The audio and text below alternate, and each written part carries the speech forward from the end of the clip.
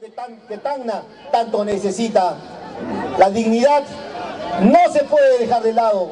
La dignidad corresponde a los pueblos y vamos a hacer respetar a Tacna como Tacna. La dignidad que su historia ha hecho que tenga un lugar especial en la historia del mundo. La dignidad que cada uno de sus ciudadanos y el respeto que se merecen. Queremos sí encontrar solución a los problemas. Queremos hacerlo en la mejor de las maneras, en la mejor de las maneras. Por eso, nuevamente reitero a aquellos que insisten y tienen oídos sordos. Ya se ha aprobado en muchos municipios y en la municipalidad también es voluntad del Consejo Municipal. Se han venido aquí algunos para tratar de entorpecer ello.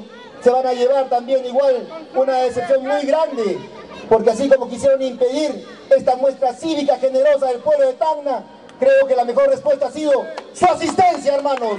Por eso agradezco a todos y cada uno de ustedes esa responsabilidad, esa entrega, ese patriotismo y la búsqueda permanente de que los guiemos por el mejor camino, el camino de la solución, a la tranquilidad y el derecho a la vida, a la salud que se merece el pueblo de Tacna.